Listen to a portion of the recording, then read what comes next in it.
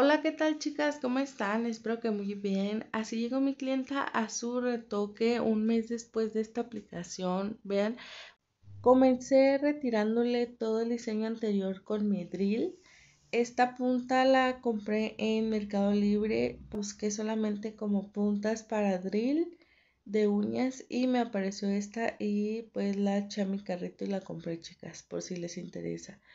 Yo comencé retirando el diseño como un retoque normal, pero traía levantamiento y le tuve que hacer un retiro. Así que vean, ya apliqué mis tips y ahora voy a comenzar a aplicar el acrílico. Antes de aplicar el acrílico voy a aplicar una capita de primer. Estoy utilizando el Protein Bond Organic. Comienzo aplicando mi primera perlita donde está la unión de la uña natural y el tip. Voy a rellenar bien la punta. Estoy bajando el acrílico con leves toquecitos para rellenar bien la punta. Vean. Ahora voy a estar aplicando una segunda perlita en la zona de cutícula. Cuidando bien de no tocar piel.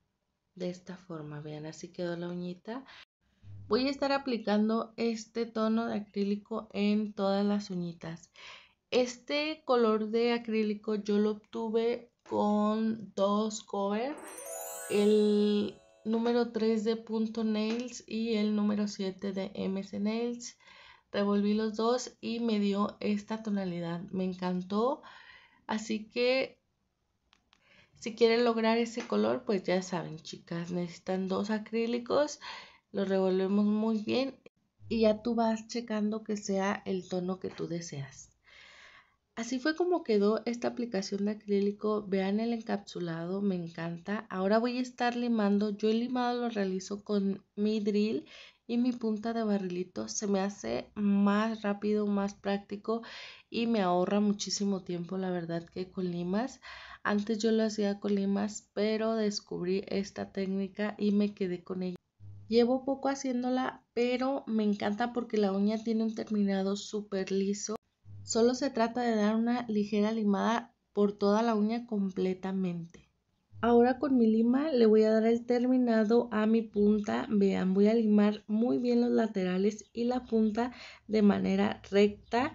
Y en la punta voy a dar un ligero limado envolvente para darle el terminado liso y que no se me haya pasado de grosor.